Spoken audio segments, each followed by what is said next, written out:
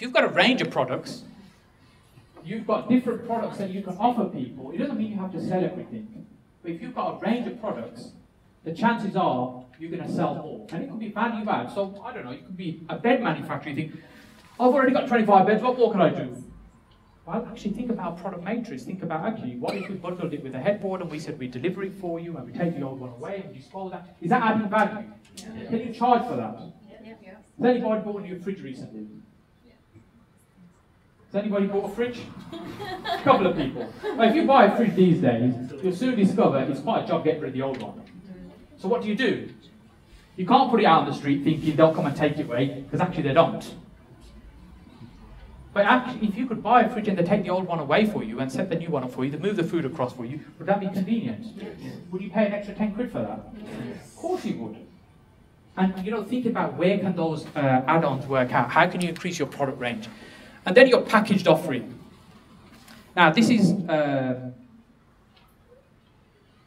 you see, you can have a core product, right? So, for example, let's pick Dev sit at the front. So, you run a coffee shop, right? So, you might have uh, a standard coffee that's, I don't know, three quid. So, that could be your standard product, right? And then you might have, you know, your cheaper one with, less milk, smaller, whatever, as a, a bronze package. But you could have your super grouper mocha chocolate caramel version, which costs seven quid, as your premium product.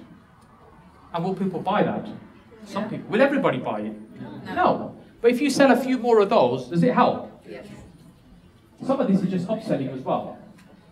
Now, if you go to McDonald's, if you try ordering anything, try fries with that, sir. Even if you order fries, they'll offer you, no, with that, sir. they're, very, they're upselling you all the time. Now, if you spend an extra 50 pence, 80 pence on those fries, has it cost them an extra 50, 80 pence? Nowhere near. They probably make more on the upsell than they do on the core product. But they're offering it constantly. Now, if you were doing these little things, you increase your prices by 25%. You might lose a few customers, you'll attract better customers, I promise you. You get good at sharing your message, you tell people you're good at what you're doing, you have a range of products. You offer an amazing high-end product. You offer some cheaper products to keep people happy. And that might be just stuff that you don't even personally deliver. It might be you refer to somebody else. It might be that, you know, it's a business you don't want, you send it to somebody else. Yeah? And you just get a referral for that. So, but all these things would add more revenue to your bottom line.